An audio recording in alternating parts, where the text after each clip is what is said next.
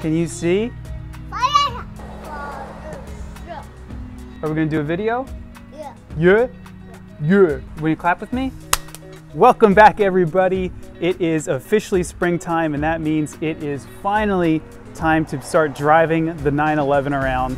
And something that I do every spring to make that possible, or to make that a little bit better, is I clean out the idle jets in the Weber carburetors.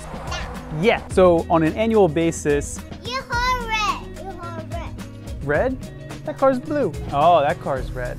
Yeah. So with the gasoline quality these days and just all the gasoline that's flowing through here, the idle jets, they gum up, they get a little bit dirty. You can change the filters. They eventually get either clogged up, partially clogged up, or they just get a little bit dirty. It takes 10 minutes to pull these things out, run a little bit of carb cleaner through it. So that's what we take you through right now.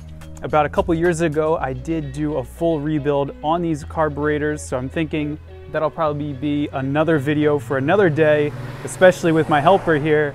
So we're gonna do a quick 10 minute, real easy driveway how to get your car going for the season, eliminate that carb cough. You ready to get started? Yeah. All right, let's get started.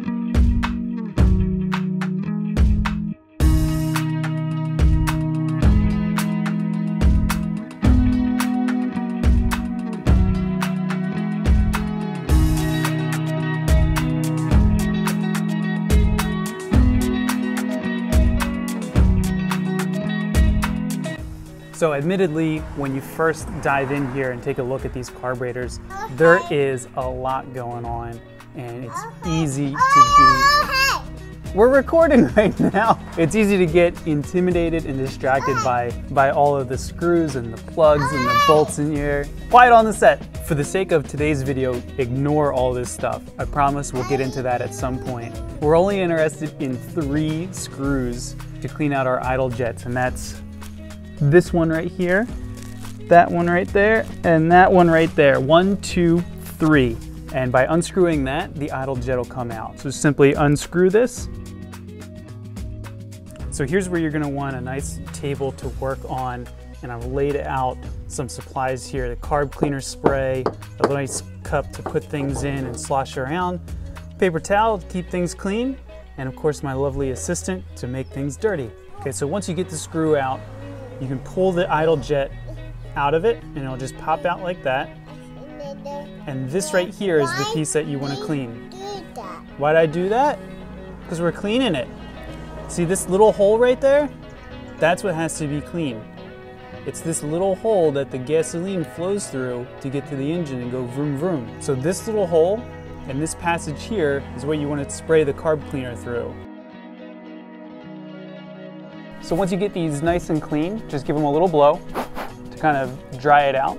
The carb cleaner will evaporate anyway, so you don't have to worry about it too much. A couple rules of thumb, since these are brass, they're really fragile. Whatever you do, don't like uh, poke things through here to try and clean it out.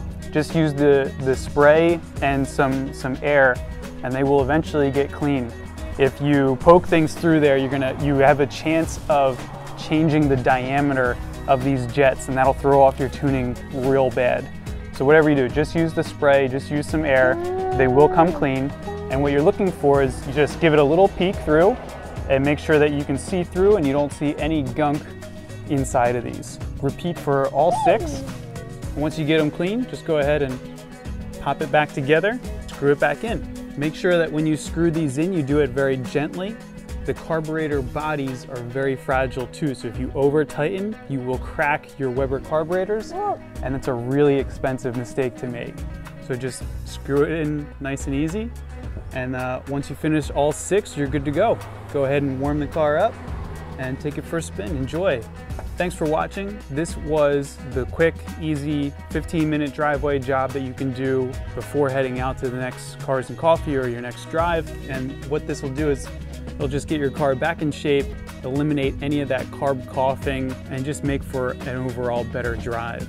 So stay tuned, we will do a full carburetor breakdown and clean video as mine are getting a little bit dirty, so I think that they're gonna need it.